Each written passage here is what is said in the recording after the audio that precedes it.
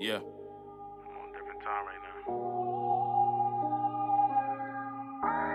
Holy vision, they get my niggas out. Want to see it. Talk to 'em. Power. Uh, holy vision, they get my niggas out. Bag chasing, that's what it's been about. Streets raise 'em, I'm reminiscing now. Can't wait till my sons to get older so I can sit them down. Teach them about loyalty. Most importantly, always stay ten toes down. Never curl your feet. Back on the wall, throw your fist if you have to. Go to war and squeeze your fifth if you have to. Consequences in your decisions, deal with it. Always stay solid, don't never be frail with it. If they come for you, be ready to kill niggas. And like they own all, you be ready to drill niggas. But I'm trying to show you different king.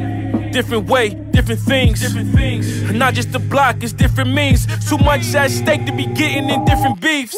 Dreams without goals are just dreams. And they ultimately fuel disappointment.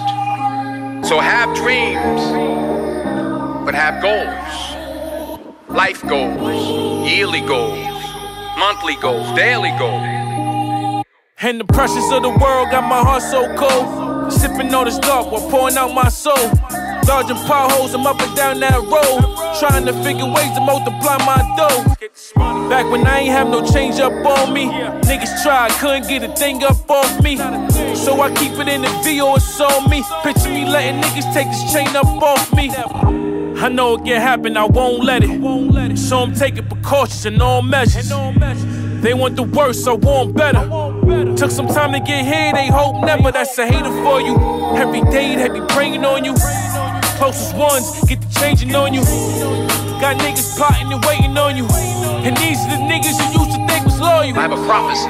You are to travel the world and speak to millions of people. I've been protected. I've been directed. I've been corrected. I've kept God in my life and it's kept me humble. I didn't always stick with him, but he always stuck with me.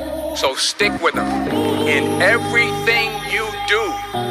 If you think you want to do what you think I've done, then do what I've done and stick with God.